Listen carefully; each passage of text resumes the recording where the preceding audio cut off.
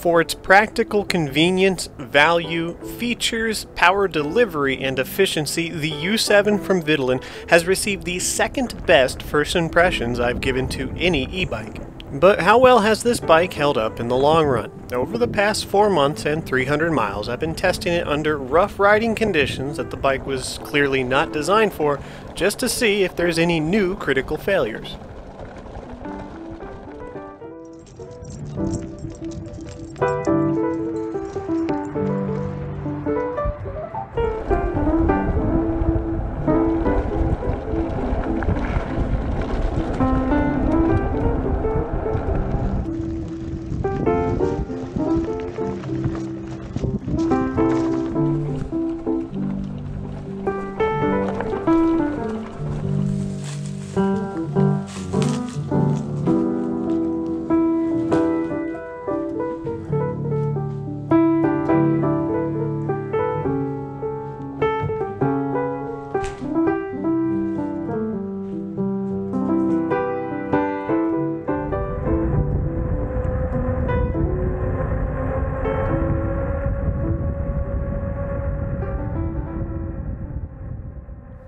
Link in the description for my first impressions video about this bike if you'd like more details about it. The bike has a lot of good things going for it, especially at this price point, and it had one major flop, which we'll discuss in a moment. For this, my final review of the bike, I'll mostly just be discussing how well it's held up, and any of the key features which have dramatically affected the bike in a positive or negative way.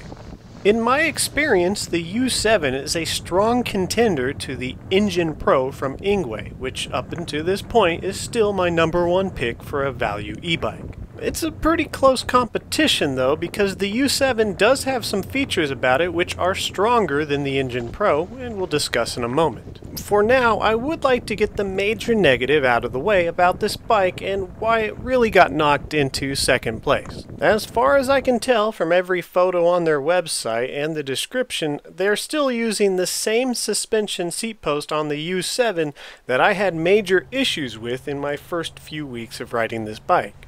The particular seat post they're using out of the box is a bit of a confusing choice when I consider that the build quality of the rest of the bike is pretty darn good. I'm more than willing to call companies out when they use cheap components on their bikes, but because this was the only major issue I had out of the box and it's a relatively cheap upgrade, it wasn't enough to knock the rest of the bike down on the list. So I hopped on Amazon and upgraded it with a Zoom suspension seat post. I've had good luck with Zoom products in the past. They're pretty cheap, but the quality's decent, and it's proven to be the same on this bike. The only loss and convenience I get with this upgrade is that it doesn't have a flip-up seat, so removing the battery requires removing the seat post, which is pretty quick and easy, so I don't care. The only other minor complaint I've had about the U7 is actually not isolated to the U7. It's an issue you might run into on any bikes with folding mechanisms, like the folding stem and the folding frame. This issue isn't really something that affects the integrity of a bike with folding mechanisms, but it can be kind of annoying. After a couple of weeks of riding the bike, especially in dusty environments, I notice you form little creak sounds every time you sit on the bike and adjust your position, eh, from what I can only assume is minor movements in the folding mechanisms. Luckily, this is an easy issue to fix on pretty much any bike with a folding mechanism. You just sprinkle some graphite powder on any of the contact points and the creaking noise goes away almost instantly. And graphite is literally something you can just rub on with a pencil if you don't want to go out and buy the powder. Most of my long-term viewers know I don't go out of my way to abuse the bikes, that just happens naturally under my riding conditions. But that's pretty much it, those are the only two issues I've had with the bike. Now we'll go ahead and discuss some areas about this bike for its value price that shine over my first place winner, and maybe other options that you're comparing it to. Not to refeed you a bunch of information we've already discussed in our first impressions video, any of the features I'll be discussing from this point on are simply my experience with them and how they affect the quality of the bike after having used them for some time. At the time of recording, the U7 comes in at $1,150 with the coupon code on their website. This is an identical price tag to our first place winner, the Engine Pro, and both bikes include a 16 amp hour battery with their base models. But this is where the U7 shines over our first place winner. The U7 has opted for Samsung cells in their battery packs, which are of higher quality, provide a longer life with more charge cycles, and offer better amperage. The higher quality cells have also given me a better peace of mind when it comes to safety. Not only have I gotten better acceleration and range numbers out of the U7's battery pack, but there's another option which the Engine Pro cannot offer due to space limitations in the frame. The U7 can upgrade to a 20 amp hour battery pack for only $100 more. That's a lot of extra range for 100 bucks, so it's kind of a no-brainer. A brake system that's been popping up on more and more e-bikes, and I've been enjoying it ever since, is the Dyson brake system. My best assumption is this brake system was originally designed for budget mopeds, but tends to work out really well on e-bikes. As comparing it to something like the budget Shimano hydraulic brakes you see on other e-bikes, it provides better stopping power, more tactile feedback in the brake levers, easier adjustments of the brake levers, and the brake pads last longer because they simply have more meat on them. To be blunt, even though it's probably a budget brake system for a moped, it's the best one I've tested on any bicycle. And they use the thick 180mm rotors, which have some benefits as well. They're less likely to be bent during shipping, to be bent if you kick them or you wreck the bike, or simply to warp under heavy use because of the added meat. As a matter of fact, if I can find these sold separately, I'm going to start using them on my two-stroke gas bikes, because they certainly look up to the task. In my first impressions under just normal use going to work for a week, I noted that this bike tend to be more efficient than others I've tested, and that's proven true, as my range test on this bike with the 16 amp hour battery has given me some rather impressive numbers. As you know, numbers are going to vary from rider to rider in different situations. For me personally, I'm about 200 pounds and I ride in a mostly flat environment. When I'm traveling to work, which is what I've been using this bike for the most, I'll generally carry about 20 to 30 pounds of cargo. Full throttle operation of the U7 from a charged battery until it stops running was 21 and a half miles. That is really good for a 16 amp hour battery. With the cruise control held at 20 miles an hour, this gave me 32 miles. Those tests were done with specific reasons being to drain the battery and see how far it would go. Under my real world riding conditions, going back and forth to work for two weeks without charging the battery, I got over 50 miles and it still had power left. This was at 16 miles an hour, pedaling with the motor. I imagine the 20 amp hour battery would give an extra 4 to 10 miles to each one of those numbers respectively. The advertisement on their website shows between 40 and 55 miles. As expected, they're going to use the higher number with pedal assist, but at least they didn't inflate the numbers.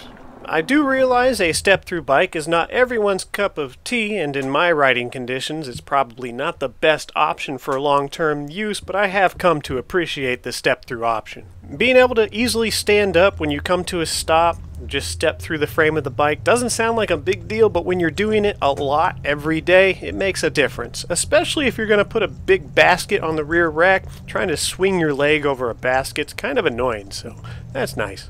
When it comes to convenience, ease of use, and a few other dynamics we'll discuss here in a moment, the 20 inch diameter fat tire bikes have really grown on me as a sweet spot. Their smaller footprint makes them easier to store, easier to maneuver around obstacles, easier to get on and off the bike, all around just more convenient in any situation. Plus, you still get the fat tires with lower PSI for that cushy ride feel. The lower center of gravity also aids in stability, especially under eh, sketchy conditions. Plus, with smaller diameter tires, you're offered more torque from the motor for better hill climbing capabilities, and the brake system doesn't have to work as hard to stop you quickly. It's just all around better in pretty much any situation I ride the bike. And the icing on the cake for a bike like the U7 is most 20 inch diameter fat tire bikes these days are using alloy wheel sets. These aren't cheap ones that feel sketchy under my riding conditions. They actually feel solid and I can trust them. There's no spokes to adjust or break, and every single one I've seen so far is using sealed bearings, which is a major relief for long-term maintenance. Another small convenience included with the U7 is the front rack, which for the most part, in my first impressions, was just a side note, until I actually started putting my backpack on it. And with my panniers and backpack, I never have to carry anything on my person, and it just makes the ride so much more comfortable. Another point of interest I noted in my first impressions video about this bike was its unexpectedly high amount of torque. The power delivery on this system is, is really nice, especially for its size and price. Trusting the true rating of a motor on a commercial e-bike these days is kind of a crapshoot, as I've had some which have seemed vastly underpowered, others which seem spot on, and a few handfuls, such as the U7, which seem like they've underrated their motor, because this certainly feels like more than a 750 watt motor.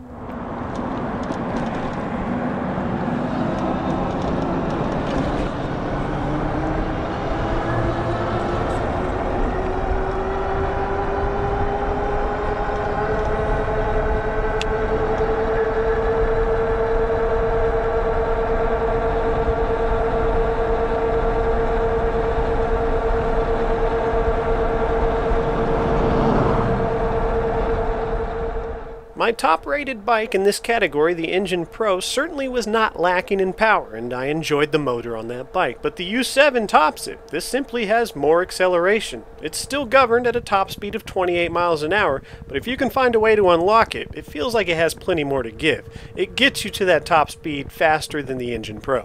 My dusty riding conditions can play hell on front suspensions, especially for cheap forks, and although the U7 does not appear to use high quality forks, at the very least the seals on these have done their job well. They're not gritty and have stayed smooth throughout their entire travel.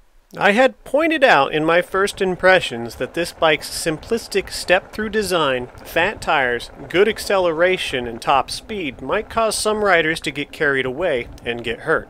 That still might be the case, but I can say at the very least, under my rough road riding conditions, the frame is held up flawlessly. All the welds look good, no new noises or weird dynamics coming from the bike.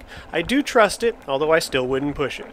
To sum up my official review of the U7 from Vitilan, this is a solid choice in my opinion if you're willing to overlook the really poor quality seat post that comes with the bike. It's an upgrade I can justify because everything else on it really nice. It has all the features I asked for, especially for a budget e-bike, really good power, nice range, and the integrity of the bike is held up well. If you're in the market for a step-through e-bike, this is certainly one you should consider when comparing your options. So I hope you guys got some useful information out of today's video, or at the very least were mildly entertained. And until next time, ride safe.